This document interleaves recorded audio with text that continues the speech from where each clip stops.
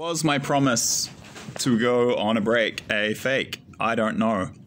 Part of me wants a break, but when, I can't control when I get the dreams. And as I said in the last couple of videos, sometimes I get a dream and I just need my in my spirit. I know I need to put it out that day, so I'm just going to go off the flow. No more promises about breaks or saying what I'm going to do. I'm not going to say what I'm going to do. I'm just going to go off the flow because I cannot control the dreams. And sometimes I get important ones that need to be put out immediately. That's the case here. So I'm going to crack into it straight away. Here we go. Boom. All right. So I had the stream about three nights ago. I think uh, I had the stream six, on, the, on the evening of the 16th of October 2023.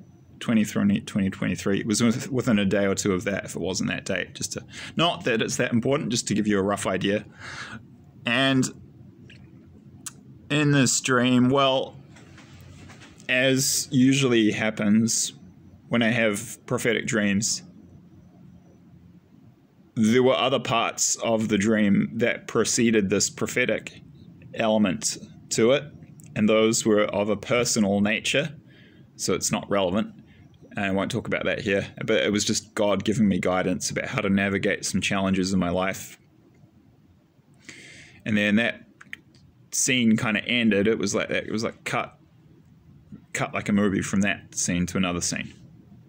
Okay, now here's the prophetic bit.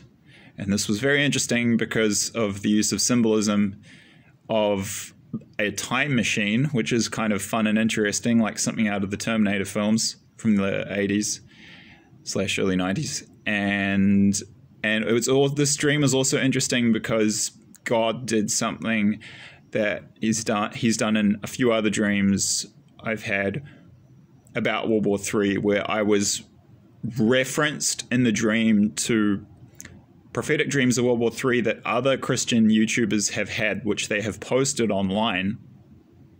And I will put the links to these two videos in question, which God referenced in this particular dream, in the description box below, so you can go have a look at them.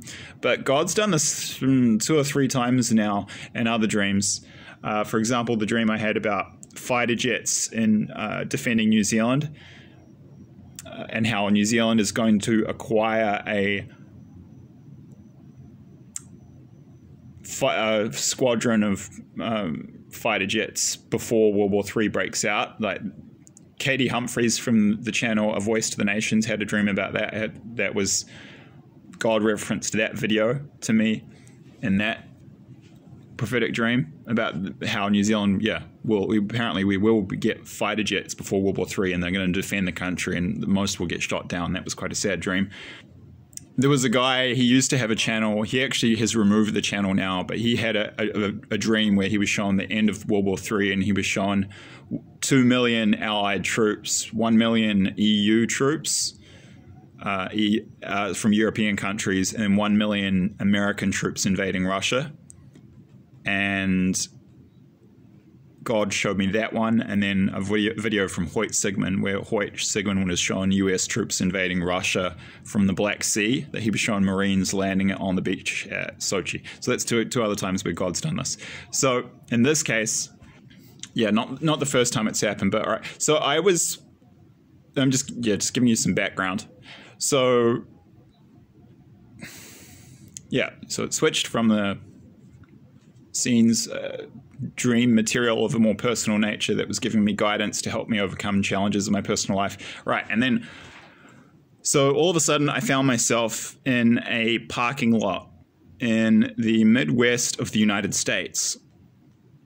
And it was, it was just a sort of a, it was a large parking lot, maybe, you know, it was really big. It was like 100 to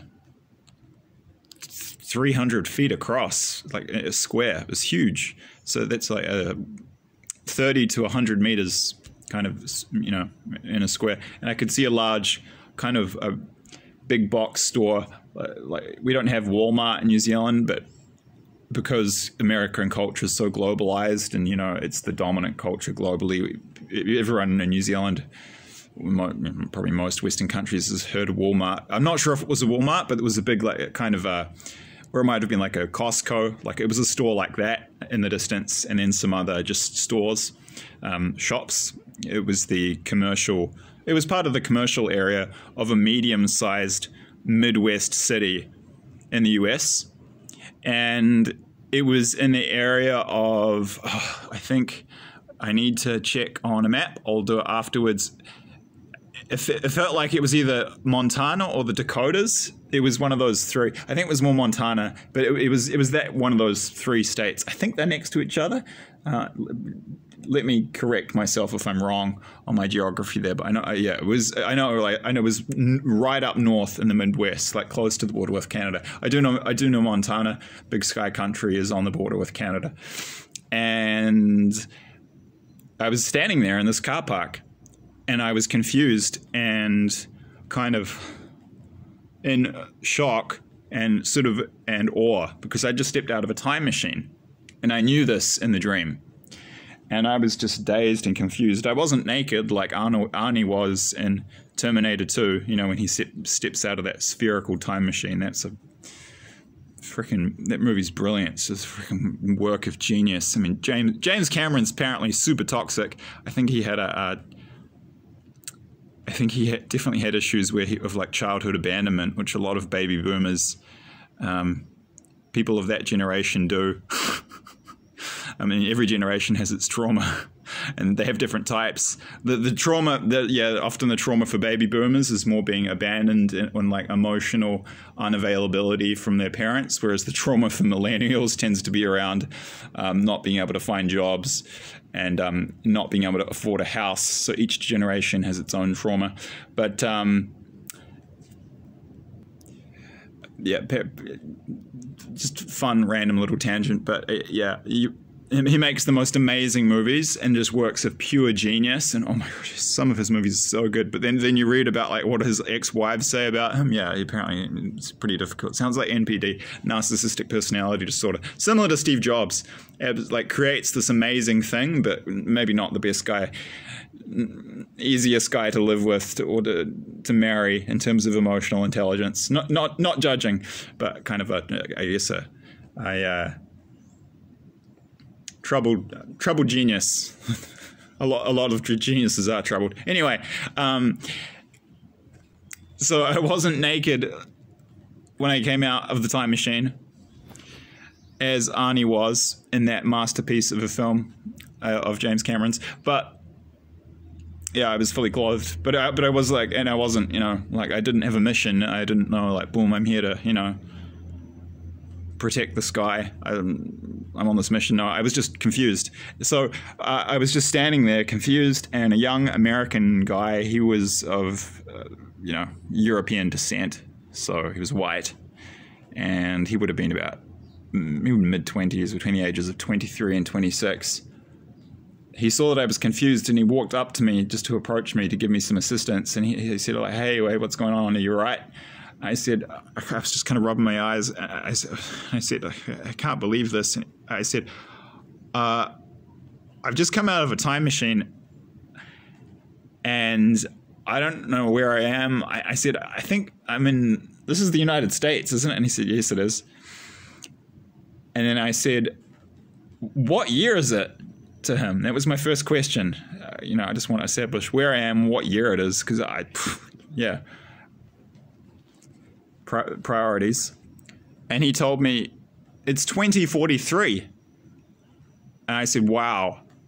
And then he said, "Well, what, well, what, do you, what do you mean?" He said, "He said, what year did you come from?" And I said, "2020." And then his jaw dropped. And then I said, "Well, that because I, I knew in the dream in the dream I could kind of access information 20 I could uh, 10 to 10 to 20, 10 to 20% I had the ability to access information that I, know, that I know consciously about all these events in the war in my waking life. Not the full amount, but in the dream, I was able to kind of partly tap into that part of my brain, even when I was in the dream talking to the sky. So I said, hey, that, that must mean the war's finished, that World War III is finished, right? And I, and I said, how long did it go for? I asked him. And he said, 20 years. and that was interesting. I'll get to that because I'll, give the interpretation afterwards. I just want to describe the dream, then I'll do an interpretation and a little discussion afterwards. So, and then I was kind of some, there was some cogs ticking over in my brain after he said that, and then I mean that was pretty much it. And then um, there was uh, the message that there's a message that was a little more personal, but I will mention this briefly, well, briefly as I can. Uh, because it does tie into the story of this channel and how it was created because I developed these more mm, attuned and uh, I, I developed my skill in as a dream Christian mystic dream seer as a result of the trauma of financial abuse which I've been dealing with from my immediate blood family. Um, so that's like the family abuse, abandonment, and trauma. I'm not a victim. I have been victimized. I don't have a vic- vic- I don't have a victim mentality. I have a victim mentality. So accept and assert instead of passive aggressive. And I don't. Yeah, but it, it has been it has been tough. But I'm going to win, and I'm I know I am. I'm confident, quietly confident. But uh, yeah, I'm just going to throw this in here because you might not think. It, I just want to explain this because some people think, like, why is he talking about this stuff in his personal life? Well, uh, when it's not related to the channel. Well, it is related to the channel because the channel wouldn't have existed if it didn't, if it wasn't for this chain of events in my personal life. So, um, and there's a, this is a shared message of hope. Oh yeah, and there's one other thing I want to add. Actually, I almost forgot to mention it before I, I move on to the next part. So I asked the, and the guy said, he said, yeah, we're we're going to need to completely rebuild the country. He said he, he said like yeah we the war he said yeah the war's over. Uh, yeah, it, it, it lasted 20 years. And i knew in the dream and i could see that our side had won. And it's interesting to point out that this part of the united states was relatively unaffected. I could see some buildings that were damaged and destroyed nearby, but it was like it was quite interesting and clear symbolism that there were very large buildings near me that were completely intact and that were undamaged. But that was just in this part of the United States. But the U.S. had won, the Allies had won, and we knew we'd you know, won the war. And there was this kind of feeling of like, like just exhaustion and war weariness and kind a, a mixture of like a bittersweet mixture of sadness of loss, but but also um, elation and triumph at the fact that we'd won in the end, our side. And yeah, like I, I knew it. We both knew had the understanding that the war was over by this stage and that the Allies had won. But he said, yeah, we're going to completely need to rebuild this country from the ground up. And he said about you know about seventy five he didn't actually say about 75%, but that was given to me. That was downloaded to me in the dream. It, the US infra- and the infrastructure of the United States as a country, like highways, cities, you know, like sewage, airports, or, you know, all like the things that, not the landscape, but the human world, the, the society, you know, the, the physical reality of the human society of the US as a country was 75% obliterated. So they, yeah, he said we're going to need to rebuild the country from the ground up, completely rebuild. That was the last thing he said. All right, so then uh, now I'll move on to the spit, which gets a little, there's a little personal thing I'll add. So then, yeah, I, and then I said, look, I said to him, this was surprising. I said, oh, yeah, I said, dude, I, uh, I just need to. I, I don't know why I'm here. Look, I, I, to be honest with you, I just need to get home. I need to get back to New Zealand. Can you help me? Uh, and then he, he he was kind of like helpful, but he said, "All right, well, I can get get get drive you to the airport." But he, he didn't offer to he said, "You're going to need to pay me." He said, "Like it's going to be like fifty or sixty bucks," and I was like, "Oh, okay." Well, I was hoping he might do it for free. Um, that's nothing. That's not saying anything against Americans. That's God subtly emphasizing that. Despite all my issues with New Zealanders, I'm, I'm, a mix of Spanish and Kiwi. They are still my people. It is still my home country. So he said, "Okay, you're gonna you're gonna need to get to this airport nearby." Uh, it was somewhere in the Midwest, and then he said, "From there, take a flight to LA, and then from LAX." Probably LAX won't exist in the future actually after the war, but he, that's just what he said in the dream. You'll be able to get a flight to Auckland. And then, so I did that. And then I got back to, flew from Auckland to Wellington and I came back to Eastbourne in Wellington where I grew up. And I went back to the house where I grew up on Aurora Street in Eastbourne which was actually sold in 2019. My family lived there from 1992 to 2019. Uh, so my family, I mean, I moved out long before 2019. You know, growing up. Uh, but they lived there for almost 30 years. So this place is like, in in this lifetime, is very much just, just what I see as home. I have so many memories. You know, it's just like it was the nest basically, place of. It was mostly just very happy, positive memories up until the death of my father when I was 15 years old, and after that, it was life was pretty sad and dark, uh, and it just collapsed into a mess in the end. Um, and that in the end, yeah, my family turned on me like a pack of rabid wolves, abandoned me, and left me for dead. And and then were trying to actively take me out and destroy me. Um, and yeah, I've been in a situation of financial abuse, which is why I'm in this health crisis. And this is that's been the situation's been going on for 20 years. I've been I've been in survival mode since I was 15 years old. It's the reason I'm I don't have a career. It's because I've been trying to deal with this crime in my family and crime and abuse. And um, so I just finished it off. So anyway, yeah, I went. I walked out so up to the front of the house, that house I grew up in, and I said, "Hey, is uh," and this beautiful girl, beautiful girl came out. New Zealand, New Zealand European. She was she was so beautiful. She was about 19 years old, and she had these bright, sort of clear greenish eyes. Me and my twin sister both have green eyes, and she had this light blonde hair. Uh, but she was this godly, godly woman she wasn't really promiscuous. Uh, New Zealand is really has been really degraded by the social engineers. So it's um, the average number of women that men that a woman has slept with in New Zealand is 20. It's the only country in the world where, according to surveys, most most women have slept with more men than men have slept with women. And that, New Zealand has the most promiscuous women in the world. They also drink, swear, and take drugs a lot. And the men do it just as badly, but the women have been programmed to be to do very self-destructive things which are very bad for them and which make them miserable. But and this is just the product of a country which has abandoned God, uh, and so most men in New Zealand aren't godly, and most women aren't either. And it's a pretty dark place and it's not common to find a beautiful young woman who who doesn't you know go out and basically act like a prost be a prostitute for free uh, and, and, the and it's hard to find a guy who doesn't do the same I should add not pointing fingers at the woman anyway but this woman wasn't like that this girl she had this beautiful had that godly energy had the Holy Spirit in her such a, and, and she was about 18 or 19 and I said I said, uh, "Hey, is Nina here?" Uh, that's the name of my twin sister, and she said, "No. Why do you ask?" I said, "Because I'm, I'm, I'm Nick. I'm her brother." And then she looked at me and stunned, and she said, "Oh." And then I realized, and then she said, "Nina's my mum." And then I was just had the shock realization. It's like, oh wow, this is my niece. And I just wanted to throw that bit in there because and despite all this crap, I'm in this horrible family war. That was like there was God showing me on some level. I don't know if that was literal, but there's hope in the end.